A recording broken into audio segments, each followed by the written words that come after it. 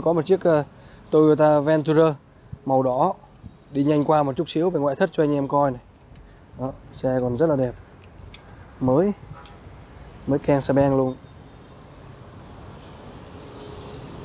Chi tiết thì Sơn sẽ làm một cái video đánh giá chi tiết sâu hơn. Còn bây giờ làm một cái một cái video nhanh để cho anh em uh, đang cần thông tin sớm thì uh, sớm thì là mình có thể là, là, là liên hệ được ngay. Đây là chiếc uh, đời 2019 nhá. Uh, chạy được 27 km rồi.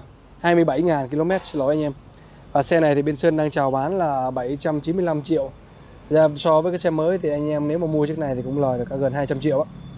đó, rồi xe này thì bên Sơn đang hỗ trợ khoảng tầm à, 70 đến 75 phần trăm. Thì anh em chỉ cần chuẩn bị trước cho bên Sơn khoảng tầm 200 là mình nhận được xe rồi. Đó, anh em nào mà đang quan tâm cái dòng này mà đang lấn cấn về tài chính thì Sơn nghĩ đây là cũng là